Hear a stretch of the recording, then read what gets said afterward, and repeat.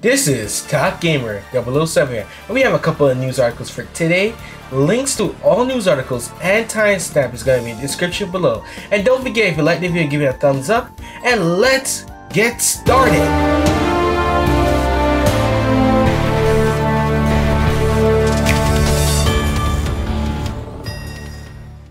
Let's move on to two Mario news that we have to go over today.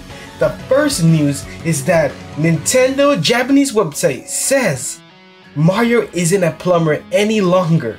This is Nintendo's character description for Mario that's shown on the website and translated.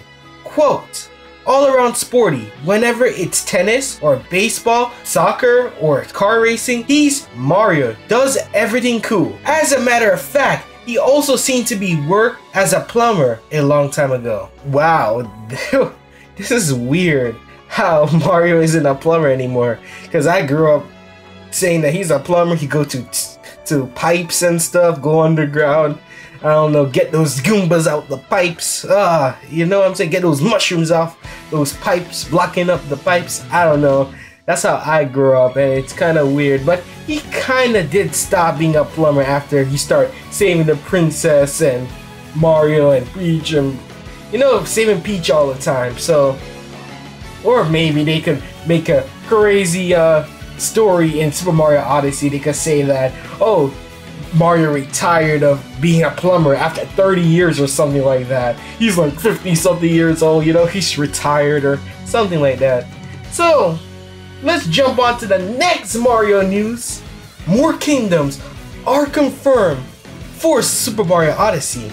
The packaging image were revealed for the new Super Mario Odyssey amiibos. Fans already been poring over every tiny detail from the box arts to see if anything is new. And it turns out it looks like the names of three kingdoms were revealed on the amiibo box.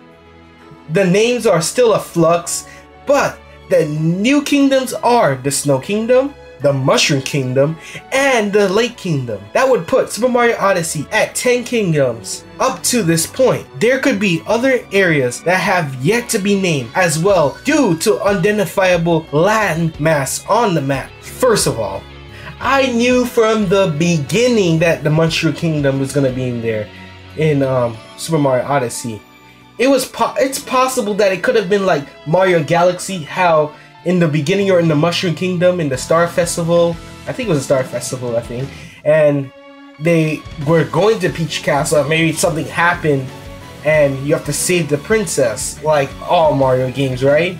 So I knew the Mushroom Kingdom was gonna be in there, or maybe you have to do something in the Mushroom Kingdom and then do that. Maybe it's a tutorial level. It's possible it can't even be the end game.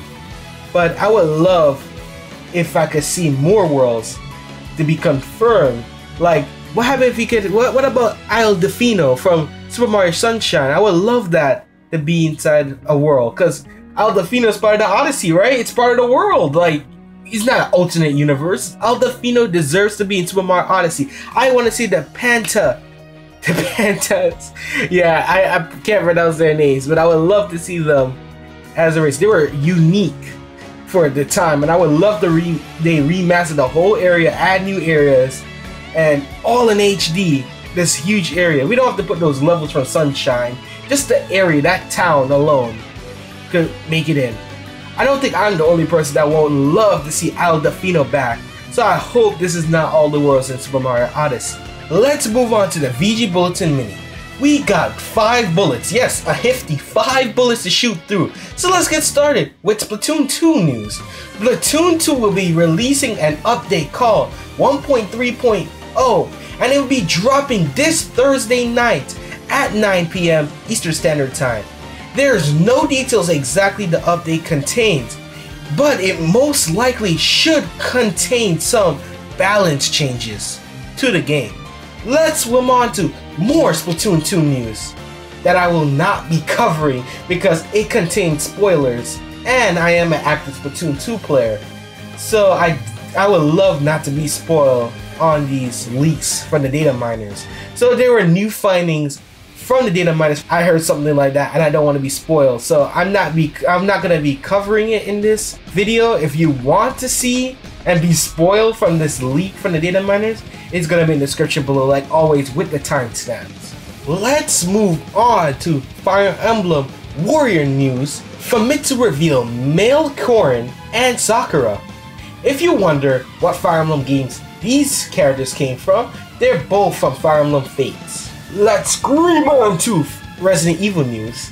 Resident Evil Revelation 1 and 2 will be launching for the Switch in Japan on November 30th of this year. The company int intended to publish both games at retail under the name Resident Evil Revelation Collection. The first game will be included in the cartridge, but if you want to play Revelations 2, it's a digital download. Currently, there is no official release date announced for North America or Europe. Well, that was everything from the VG Bulletin Mini, so let's move on to the last two pieces of news of today. The first of these news is that Fire Emblem Warriors scans were leaked from Famitsu about new features that will be in the game, such as class change skills, system, emblem shop, and the new history mode. Nintendo Everything gave a nice full roundup Nintendo Everything gave a nice roundup of the scan shown shown now. Every, Nintendo Everything gave a nice full roundup of the scan shown now on screen. Class change are confirmed. This can be done by using a Master Seal that's always in Fire Emblem. Rowan or and Lianna, that's the new twin protagonist, can promote from Lord to Master Lord game will have a skill system. You can equip to three skills. Skills are unlocked by bonding with other characters. Emblem Shop system is in the game. This apparently involves using materials and permit stats boosts. History mode is separate from story mode. It retells the original story of each Fire Emblem game feature. In history mode, move characters on a 2D grid like the original SRPG. When the ally is adjacent to the enemy, battle will trigger. Famitsu showed that Validar will appear as enemy NPC. Scenes in history mode will also be voice. One history mode map shown in Famitsu is from Shadow Dragon. I just love how Omega Force is making their crossover games. They start adding elements from the games they cross over with, and they make their own Warriors games that they create more interesting that way. Now I could finally see fans of Dynasty Warriors or Fire Emblem games will enjoy this game. I don't see no problem like unless you want the strategy part of Fire Emblem. It's in there as well. You can actually move and actually move party members. I gotta say party members to certain parts of the map with with Fire Emblem Warriors. So I could finally see that they both fans will enjoy this game. Now I believe that this is this game, this Warriors game, is an action Fire Emblem game now. I cannot wait for this game to release October 20th. And this would be a great appetizer for Super Mario Odyssey that's gonna release a week later. Alright, let's move on to the last news of today. Secret Mana Remake gameplay revealed at PAX West. Square Enix had a playable demo on the show floor, but also shared via a live broadcast.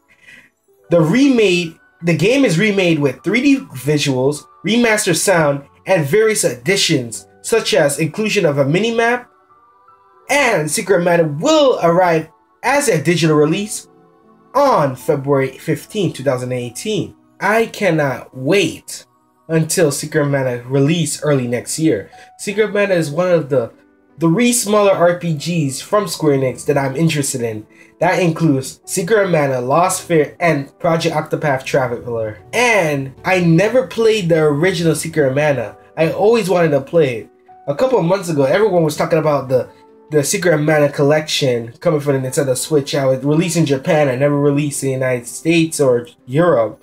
And I said, if it ever comes, I would just buy it and play it and experience it that way. And now this remake just said, well, don't buy that. Stop, stop. Don't buy that. You don't need that.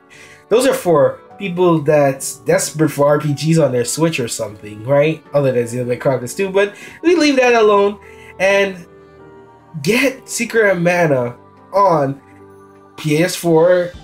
Well, Vita, no one wants a Vita. And PC, I'm gonna get on PC personally. And I cannot wait. This is a day one purchase on February 15th on Steam. No matter what, unless a Nintendo Switch version ever comes. And if it does, well, that's bought already. So, yes, it's about time to end my video. If you like the video, give it a thumbs up. I would love you subscribe to help expand my channel and share the video if you think it could afford someone else. Comment below. I would love your opinions of these articles. This is Top Gamer 007, and I see you in the next one. Peace.